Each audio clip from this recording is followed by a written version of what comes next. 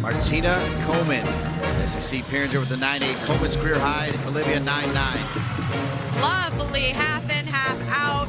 Big upgrade there for Martina.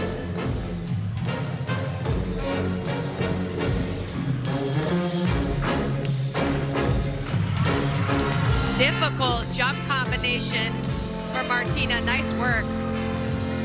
On the beam, Gianna Ortiz, 9875. The two box Big Ten Network Women's Gymnastics Championships, session one. Loving this two box. Shout out to our crew for that one, giving you as much gymnastics in real time as possible.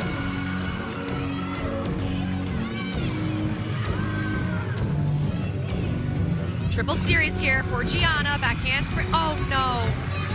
Oh, I saw that she was a little off there on her second back handspring. Only got one foot on the beam, so unfortunately, that is a little bit of a larger deduction than just a straight fall since the second foot did not hit the apparatus. Oh gosh.